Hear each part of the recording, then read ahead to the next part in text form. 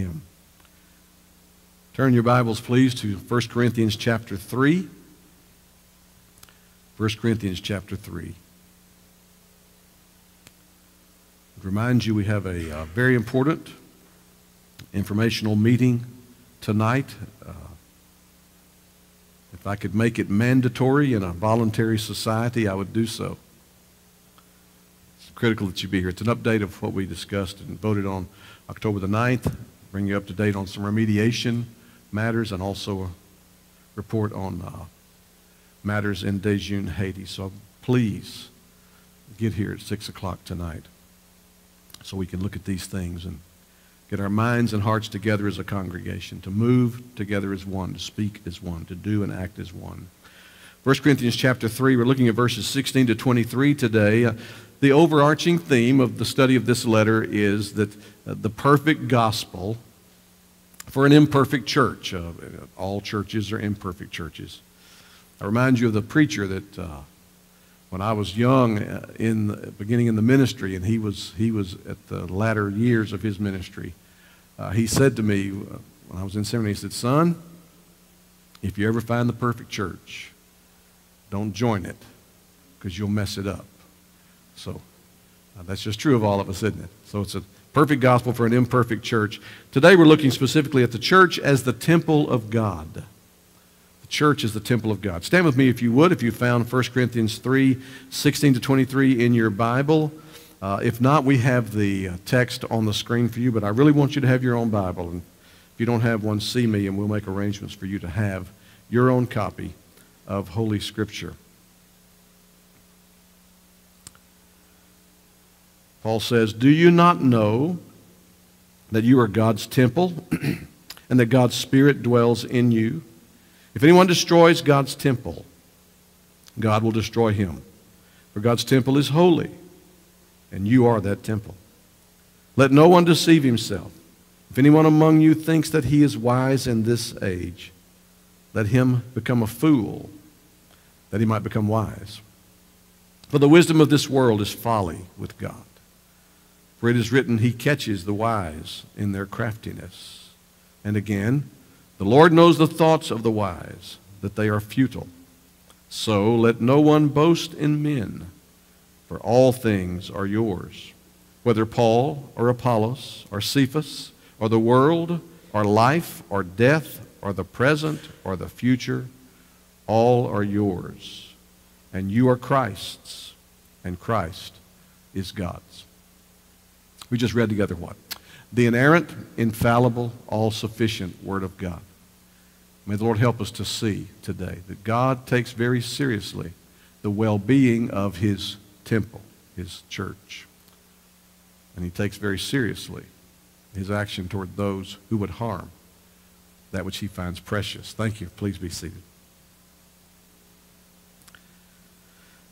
Paul is still, since the early verses of chapter 1, he is still dealing with this matter of divisions within the church at Corinth. Uh, specifically, the outcropping of it, the manifestation of it, is that uh, they were choosing preachers, their favorite preacher. They were uh, choosing one against the other. I like Peter better than I like Apollos. Well, I liked Apollos better than I like Paul. Well, I like Paul better than both. And there was this, there was this friction, there was this division because they were uh, missing the boat here on, Um, on. And you're going to see how Paul points out that they're missing the boat in our text today. He wants these Corinthian Christians to know that as blood bought, born again followers of Jesus Christ who've been added to his church by grace through faith, they are part of the temple of God, whom God loves, and that anyone who does anything to harm God's spiritual temple will in turn be destroyed by God. Divisiveness, party spirit, fascination with worldly wisdom, preacher worship, all of this causes harm to the church and distracts from the precious gifts that God has given to his church. You're going to hear themes in this passage that remind you of, of Romans chapter 8, of Ephesians chapter 4. These are, these are heart themes for the Apostle Paul. They're central to the well being of any congregation. I want you to see in this text for just a few minutes this morning four things that I think are pertinent. First of all, we see God's love for his church. And secondly, we see God's anger toward those who would harm his church. Third, we see God's warning against self deception and worldly wisdom. And then fourth, we see God's gracious gifts to his church. In other words, his love for his church is manifested as he not only gave Jesus Christ to die for the church, but also gives the church gifts for the well being of the church. Let's look first of all at this, this idea of God's love for his church. Look at verse 16 with me. Do you not know that you are God's temple and that God's Spirit dwells in you? Now, when he says this here, he's using, in fact, if you, if you looked at the, if you could see the text, there's some, there's some commentaries I found. I think it's the uh, Hendriksen commentary series that when it, when it recites passages, if the U is plural, if you have a set of these commentaries, you'll notice that if the U is plural, it's, it's the Y-O-U is spread out. There's more spacing between the letters than there would be typically Y-O-U if it was singular. And, and this is one of those cases where the U is plural. Do you, plural, not know that you, plural, are God's temple, and that God's Spirit dwells in you, plural. What's the point of that? He's talking about the church. It is, it is true that each person that's born again is inhabited by the Holy Spirit. The Holy Spirit comes to a sinner dead in trespasses and sins, quickens him to life through the gospel as the means of bringing life, and then in giving that person new birth enables him to repent and believe the gospel, and the Spirit then indwells him. And so, so there's a truth that, and he's going to see this in, in chapter 6. We're going to see this. I'll show this in just a minute, where he speaks of, of our bodies being the temple of the Holy Spirit. But that's not what he's talking about here. He's talking about the church, God's temple.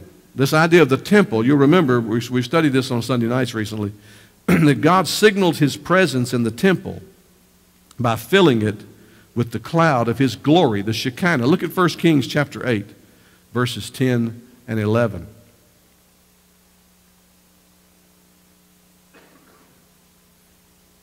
First Kings 8, 10 and 11. It says, When the priests came out of the holy place, this is, uh, this is temple here, a cloud filled the house of the Lord, so that the priests could not stand to minister because of the, house, of the cloud.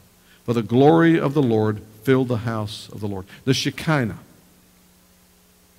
When God would meet with his people, he would descend in a cloud upon, upon the place. It was bright. It was brilliant. It was incredibly uh, astounding. It was the symbol of his presence.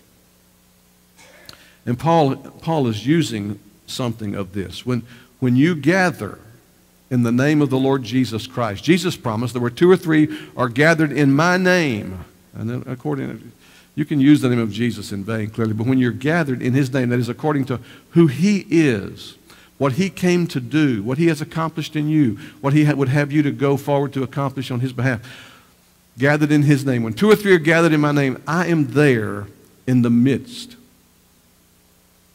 He's promised to give us the Holy Spirit. We have every reason to believe that this gathering, no matter what the size, whether it's just a few of us or whether it's, it's, it's thousands, that a gathering coming together in the name of the Lord Jesus Christ, we can invite the Holy Spirit in and say, Be our guest. Come and, and manifest yourself among us, which we should, we should not presume or assume. And He is here.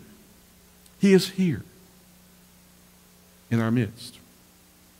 And because God has shed the blood of His Son for Christians who make up His churches, because God has given the Holy Spirit to dwell in our midst, to teach us this truth, he is very, very jealous for the well being of his churches. Look at this passage in 1 Corinthians 6 19 I referenced a minute ago. Do you not know that your body is the temple of the Holy Spirit within you? There's the, there's the idea of the singular there within you as individuals. It's, he's going to talk about this. We're going to look at this when we get to 1 Corinthians 6 about how we ought to live our lives in such a way as not to, not to abuse you're not your own. He goes on and says you're bought with a price, therefore glorify God with your body. That's, that's the individual manifestation. Today we're talking about the plural, the congregational, the corporate manifestation of God dwelling in us. It's the same thing he said in Colossians, by the way. Christ in you, the hope of glory. When you look at that passage, it's a plural you. Christ in the midst of you is the hope of glory. He warned a church in the book of the Revelation in chapter 3, Laodicea, that they were meeting without him. Behold, I stand at the door and knock. Jesus says to that church, I'm on the outside of what you're doing. You're carrying on without me in my name. You, you think you're doing pretty well, but I'm on the outside. So it's critical for us to know that we must, we must come together for the purposes of God, for the glory of God, for the advance of the gospel, together for any other reason, to make major those things that are minor and miss the major that God has given us is something that does not please God. So he loves his church. God so loved the world that he gave his only begotten Son that whoever believed in him would not perish but have everlasting life. Christ loved the church and laid down his life for the church. Mark it down, brothers and sisters. God loves his church. He is jealous for his church. His name is on his church. Because of that, number two, he manifests anger, a righteous anger toward those who would harm his church. Paul has just asked, Do you not know that you are God's temple and that God's Spirit dwells in you? Verse 17 If anyone destroys God's temple, how would they destroy it? Well, by, by manifesting ungodly attitudes, by going after agendas that are not God's agenda, by making the uh, incidental things the major things, by choosing sides, by undermining the ministry, by withholding from the ministry, by, by half heartedly approaching. All these things can destroy the well being of the church of the Lord Jesus Christ. Now, you see, some people would read this and say, well, that was the God, the God of the Old Testament destroyed things. This is the New Testament, folks. This is the New Testament. Ask Ananias and Sapphira about God. They undermined the work of the early church, and God struck them dead. If anyone destroys God's temple, God will destroy him. That's sober. I have to ask myself over and over. You need to ask yourself over and over. Am I contributing, in God's eyes, forget what people think, in God's eyes, am I manifesting and contributing to the well being and the building up of the church of the Lord Jesus Christ? Or am I, in God's eyes, destroying it? Whether actively, aggressively, intentionally, or passively, complacently, nonchalantly. There's no middle ground. We're either building up or by not building up. Think about the principle here. If you let your lawn go, you're not actively, intentionally taking care of the lawn, or house, just anything. It does not remain neutral. Weeds grow. Growth overtakes. Things begin to deteriorate. So it's not enough for us to think, well, but I'm, I'm not going around sowing seeds of discord. See, I think Paul's speaking here to more than just the folks who were vocally identifying the preacher they preferred. I think he's speaking to the whole congregation and implying in this that those who were standing by letting it happen. In fact, it's going to get more intense in chapter 5 when he just rebukes them for, for closing their eyes to a situ, situation of open immorality in the church. We've got to do the heart searching and ask the questions Am I intentionally building up the church of the Lord Jesus Christ? Or am I maybe not intentionally and aggressively tearing it down, but by complacency and apathy, am I allowing it to atrophy? Either way, God says, you destroy my temple, I'll destroy you. Four, here's the reason for God's temple is holy. You see, his name is holy. God's temple is holy, and you are, you plural again, are that temple.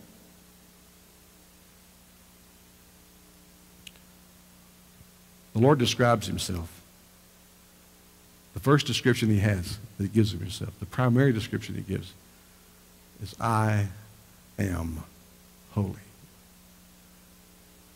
And then he admonishes Old Testament believers, and it's cited in the New Testament You shall be holy, for I, the Lord your God, am holy. When you study through the Old Testament, in the days of the wanderings, in the days of, of the taking of the land of Canaan, the nations feared the people of God. They feared them because the name of Yahweh was upon them. And they trembled to think that the people who are loved by Yahweh were coming their way. In fact, you can read instances, we've looked at this, where they, where they put the choir out in front of the army marching. What do you think that would do for your choir registration? Singing in the choir, by the way, means you're on the front lines of battle. Put the choir in front, and they would go forth singing praise to God. And, and the voices of the people praising God would cause the enemies of God to tremble, knowing that those whom God has used to destroy other peoples are coming our way as well. You can almost picture a scenario like we saw in, in Desert Storm 1, where, where when, the, when the, the, the Red Guard, the Iraqi Red Guard of, Muhammad, of, of uh, Hussein, went out and surrendered. They remember they surrendered to the CNN uh, news reporters, the fiercest part of the fighting army of Saddam Hussein surrendered to supporters when they heard the American army was coming. That's the kind of scenario you had in the Old Testament many times. The holiness of God was upon his people, and it was powerful, it was, it was palpable. And Paul is using that picture in the New Testament context. God's temple is holy. If he has saved you by grace through faith and, and added you into the family of, so that you are, as Peter says, you're, and when you come to him, the living stone, as a living stone, you're, be built, you're being built up into a temple that's holy to God. And so the fabric of the congregation, we ought to be jealous for the well being, for the health, for the gospel advance, for the mission imperative, for the Great Commission command. We ought to be jealous of these things. We cannot be complacent about them. God doesn't always destroy by taking life. Sometimes he destroys by removing his hand. There are churches, hundreds of churches, that close their doors every year. What do we think about that? God's name is holy. And if it's on his church, his name is on his church, then he calls upon us to be jealous of his name and jealous of the agenda he has given us It says, and you are that temple. Well, the third thing I want you to see is God's warning against self deception and worldly wisdom. And this is where Paul's getting down to the heart of the matter. He thinks that's what's going on here, how these people in Corinth could, could choose one preacher over another. Think about the climate they came out of. There were these, these wise philosophers, and you, you wanted to be identified by a particular school of philosophy. The Jews were much the same way. They had their, they had their rabbinic schools and their, their rabbis, and they would, uh, they would side up with the rabbi of their preference. We, folks, we do it today. I mean, we do it, and it's, it's sometimes harmless, but the principle's still there. Where we choose one, one team over another team and, and, and get really zealous for that team. And, and I talk to some people, I know some people know, when they're talking about a pro team that they've never had a piece of stock in, they've Never been asked for any input on it. Well, we, we're doing pretty well this year. We, we've got some real challenges. We, they don't even know you. So it's, it's a mentality, is what I'm saying to you. And it was present in the church at Corinth in a very uh, debilitating way. Look at what he says. Let no one deceive himself. If anyone among you thinks that he is wise in this age, in other words, if, the context here is if you think it's wise for you to choose Apollos over Paul or to choose Paul. Paul would say, to choose me over Paul, Apollos, or Peter. If you think it's wise, let him become a fool that he may become wise. Rather than, rather than wanting to be thought of as wise in the eyes of the world, Paul says you ought to be willing to be thought of as a fool. A person who is a fool and knows he's a fool and cares not to be a fool is a teachable person, right? I'll tell you about my ethics professor uh, that I had in seminary. The first time I took him was for a four hour course. He walked in the first day of class. He handed out what we learned was the final exam. He said, I want you to put your names on the top of it, answer these questions. I'll be back at the end of class. He walked out. Well, one of the things you discover in seminary is when you first get into seminary, you, you learn a little thing, a few things, and you think you know everything, and, and you really don't. 40 something years later, I still don't. So he handed us the final exam, and he left.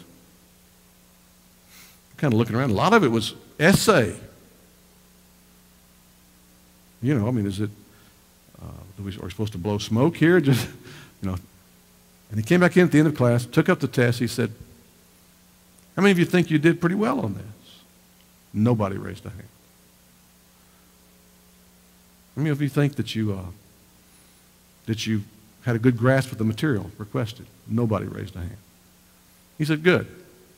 Now that you know that you don't know, maybe you'll be in a position to want to know and learn. Paul says that here. Think you're wise in this age? Become a fool that he may become wise. That's the path.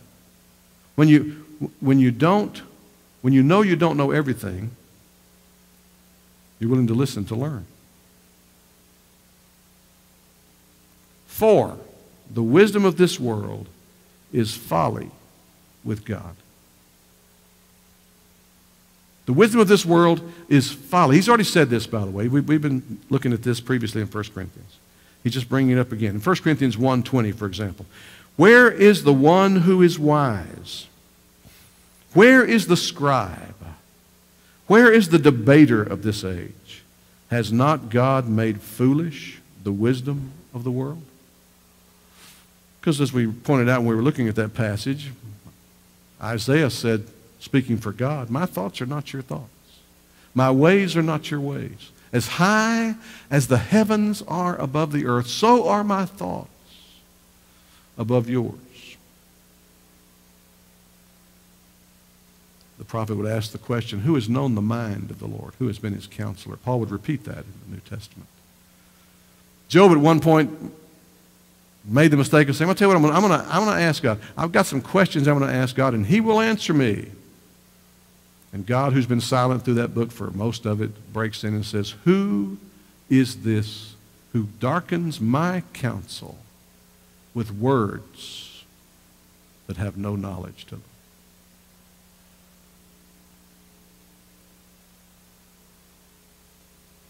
The wisdom of this world is folly to God. And then he cites a couple of passages. For it is written, He catches the wise in their snare, their craftiness. That's Job 5.13. He catches the wise in their own craftiness, and the schemes of the wily are brought to a quick end. Reminds you of Psalm 2, doesn't it? Why do the nations rage and the people plot in vain? The kings of the earth join together against the Lord and against his anointed, saying, let us break their bands asunder. We'll not, we'll not have this one to rule over us. We'll do our own thing, go our own way. And the answer in Psalm 2 is He who sits in the heavens laughs at such. He mocks such thinking with sore, with serious derision. That's what Paul's talking about here. He catches the wise in their craftiness. Sometimes Paul gives worldly wisdom just enough rope to hang itself. The Lord does that. So, he goes on and says, again in verse 20, the Lord knows the thoughts of the wise, that they are futile. This is Psalm 94 11. The Lord knows the thoughts of man, that they are but a breath, is what the psalm says. So, The warning here is not, is not don't be deceived. Don't be deceived. Don't Im- imbibe and embrace the thinking of the world.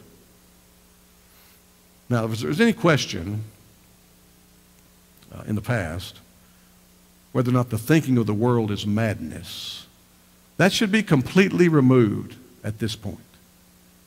People have gone stark, raving mad.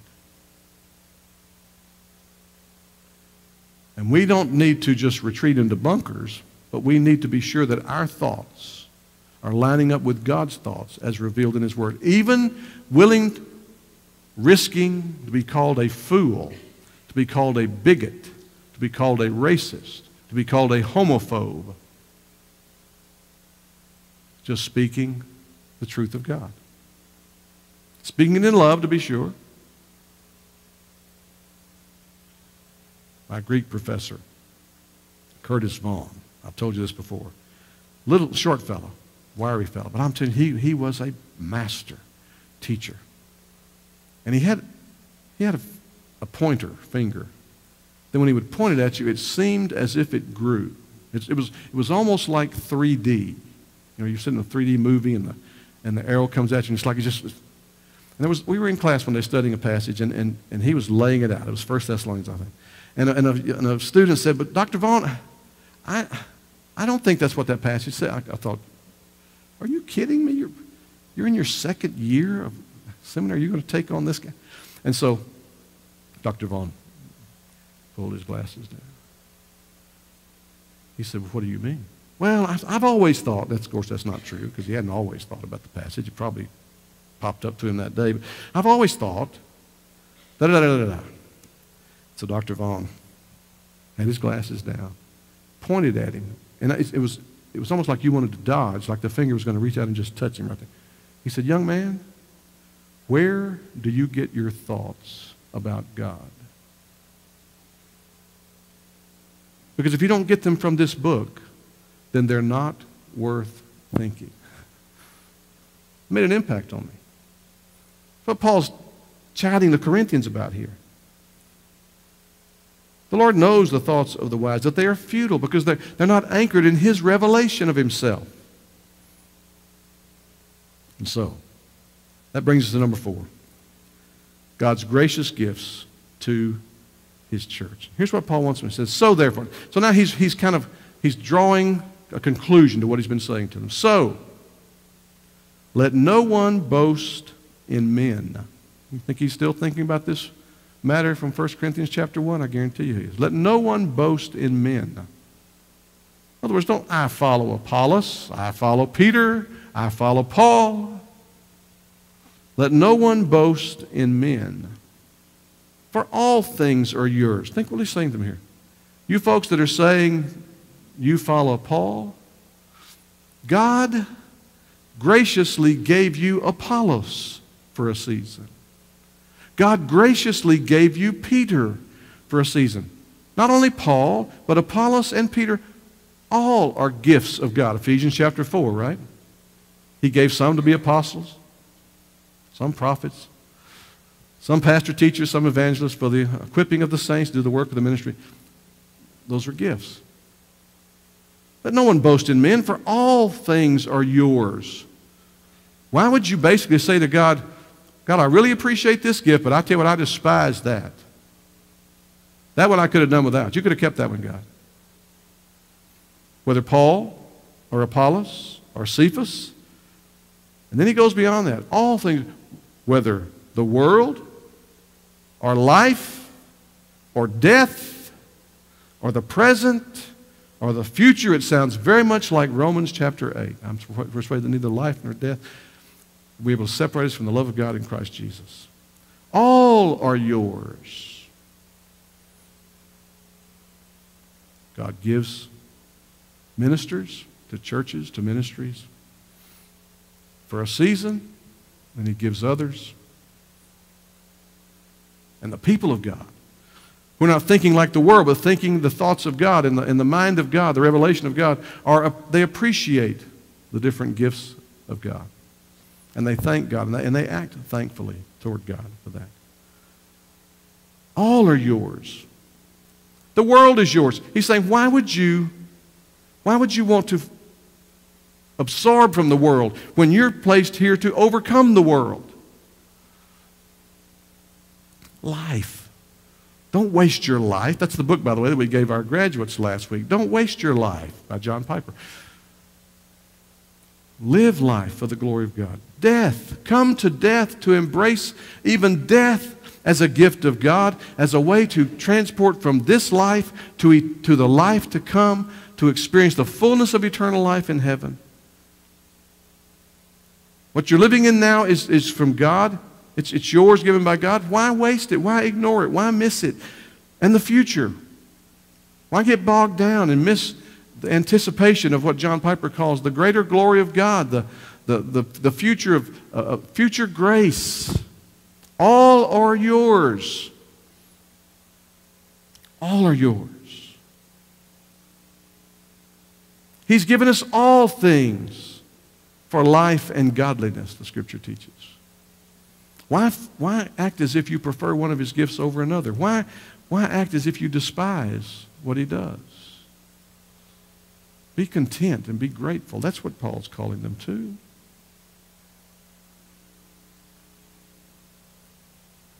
And you are Christ's. See, it's, it's not just that God has given you all things needful for life and godliness. It's not just that God has given you all these remarkable gifts of grace and mercy and sustaining providences and the promise that you will persevere to the end, that He will carry you by the Spirit to your final destination of heaven. It's not only that He has given, but He has given you to Christ. You are Christ's. The church of the living God belongs to Jesus Christ. It is really not finally so important what I think or how I feel or how you feel. Or what, it is what would Jesus Christ, the head of the church, have us do? We belong to Him. This church is His. It's not mine. It's not yours. It's His. That's the point. You are Christ's. And Christ is God's. And for a church to spend its energies or to misspend its energies on things that are destructive of its well being is to incur the just indignation of a holy God who owns it all. All things are yours. You are Christ's. Christ is God's.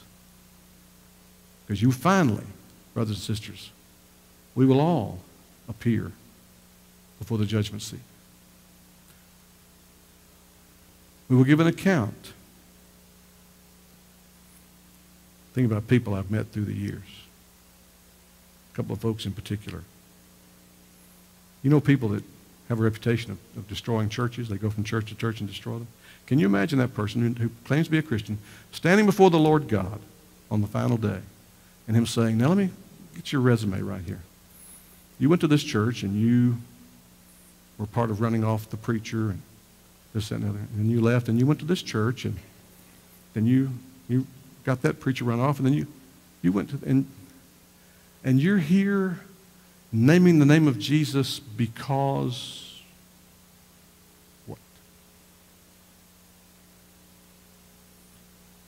Let me get this right. You sowed seeds of discord. You went behind, you were a backbiter. You were a gossip. You were a slanderer.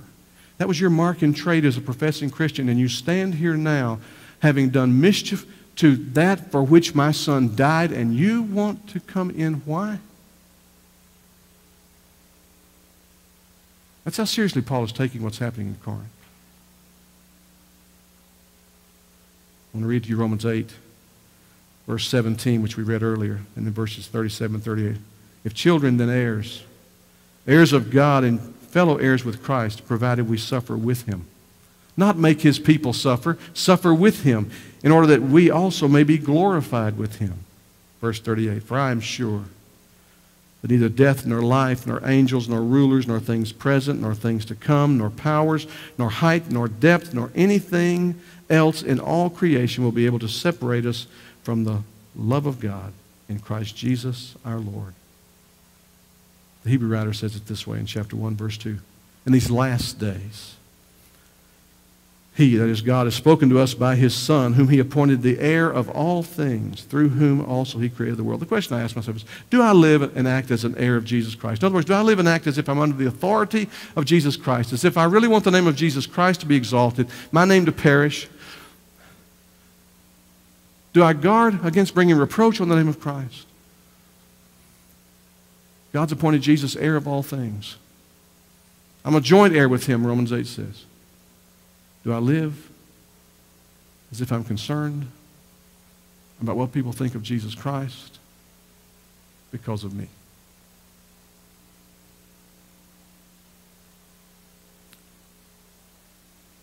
See, Paul's concerned about these, the names, the reputation of the teachers, even around whom the cliques have formed. You see, every true gospel minister, Paul, Apollos, Peter, is Christ's gift to his whole church, not just to the group, the group that likes them. Rivalry and jealously.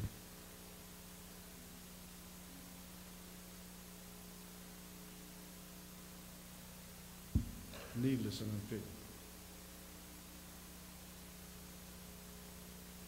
how little the Corinthians appreciated their Christian privileges is pointed out again in 1 Corinthians 6 2. Do you not know that the saints will judge the world? And if the world is to be judged by you, are you incompetent to try trivial cases? We're going to look at that when we get to 1 Corinthians 6, what he's talking about there. Jesus said in John 6 38, I'll close with this For I've come down from heaven not to do my own will, but the will of him who sent me. Jesus, the Son of God, was conscious of the need to please his Father. How can the church of the Lord Jesus Christ, bought by the blood of Christ, the very Christ sent by God to die for his church, how can we be any less concerned to please our Savior, to please our Father, to think about how His glory, His smile, should shape and influence and drive our thinking and our actions. That's the only way it can be, brothers and sisters. We're God's holy temple. We're built upon the foundation of Christ's work. By His grace, we are filled with His Holy Spirit. We must face the fact that we are capable of immaturity and guard our hearts against that. But the good news is that wherever your journey's been, repentance will bring you back to the heart of what the Lord saved you to be and to do.